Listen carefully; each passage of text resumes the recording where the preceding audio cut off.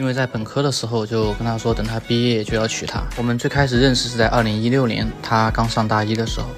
然后我们在二零一七年在一起了，到现在已经在一起有六年多了。为此求婚准备了无数的小伙伴，然后玫瑰花，还有手捧花，还有头戴的这个婚纱，还有小礼花、礼炮那种。现场是呃让附近的同学和朋友让他们每人手持一朵玫瑰，然后轮流去送给他。总共是五十二朵，然后最后我拿着我的手捧花，然后去过去给他戴上他的头纱，然后跪下拿出我的戒指向他求婚。可能察觉到了吧，因为我们也在一起很久了，然后双方父母也都见过很多次。然后求婚的时候他 非常的激动的，最后他答应了我，然后当时我的心情是非常激动，当时。